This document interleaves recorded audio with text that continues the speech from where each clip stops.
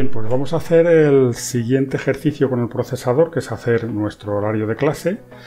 Para ello tengo aquí un documento en blanco con una página en tamaño DIN A4. Eh, en lugar de vertical como está, la voy a poner horizontal para que me quepa mejor el, horario. Entonces lo que voy a venir aquí archivo, configuración de página y le voy a decir que en lugar de la orientación que sea vertical, que sea horizontal.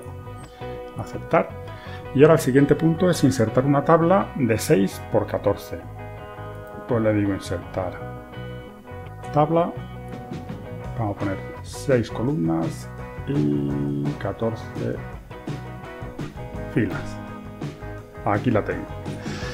Bien, ahora vamos a ir combinando celdas. Aquí en esta fila de arriba van a estar los días, lunes, martes, miércoles, jueves y viernes, y aquí las horas. La primera hora, la segunda, la tercera, el recreo va a tener una celda nada más, cuarta hora, quinta hora y sexta hora. Entonces lo que voy a hacer es ir combinando las celdas dos en dos. Vamos a coger estas dos y le voy a decir formato, tabla, combinar celdas, y ahora para combinar las demás, en lugar de ir seleccionándolas y, dándole formato, tabla,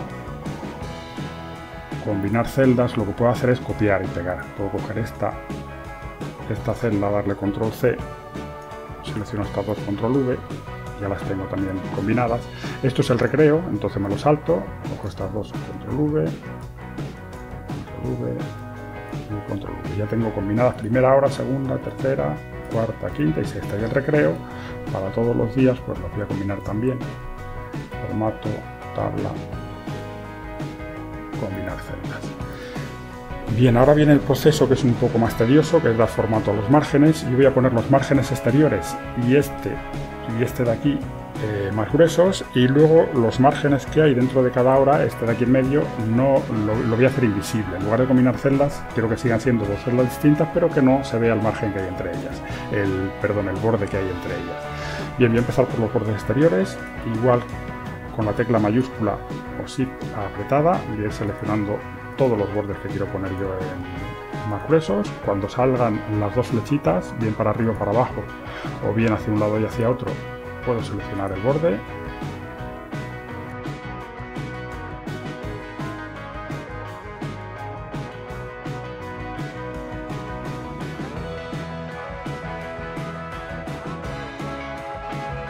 Bien, ya tengo seleccionado, seleccionados todos los bordes que quiero poner más gruesos. Vengo aquí al grosor del borde, los pongo a 2,25 por ejemplo, y aquí está. Y ahora lo que quiero es quitar estos bordes de aquí en medio, que no se vean. Es decir, voy a coger aquí voy a venir a, ancho de borde y le voy a dar cero para que el borde desaparezca. Vamos a ver luego cuál es la diferencia entre combinar las celdas y hacer desaparecer el borde. Vamos a seleccionarlos todos, igual con la tecla mayúscula apretada.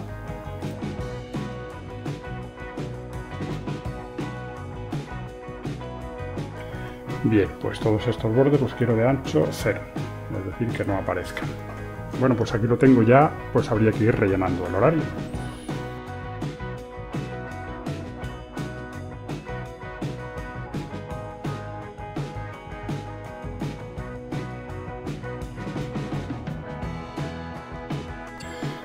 Aquí por un lado y pues luego quedaría porque fuera rellenando pues las materias y el aula en la que dais cada uno. Vale, vamos a ver ya, lo rellenáis todo eh, como queráis, os inventáis si queréis el horario, ponéis el que tenéis de verdad. Y lo que vamos a hacer ahora es dar un poquito de formato a esto. Voy a seleccionar toda la tabla, toda entera, y voy a venir aquí a formato, tabla, propiedades de la tabla. Y lo que voy a decir es que en todas las celdas me alineé la alineación vertical, me la ponga centrada. Fijaos sobre todo en las horas, voy a aceptar como me las ha puesto efectivamente en el centro de la celda verticalmente. Y ahora otra vez con la tabla seleccionada voy a centrar horizontalmente apretando aquí. Esta es la diferencia entre combinar celdas, esto se ha convertido en una sola celda, por eso me lo ha centrado verticalmente, y quitar el borde, eh, el borde de la celda. Estos siguen siendo dos celdas distintas, lo único es que no hay un borde entre ellas, mientras que esto es una sola celda.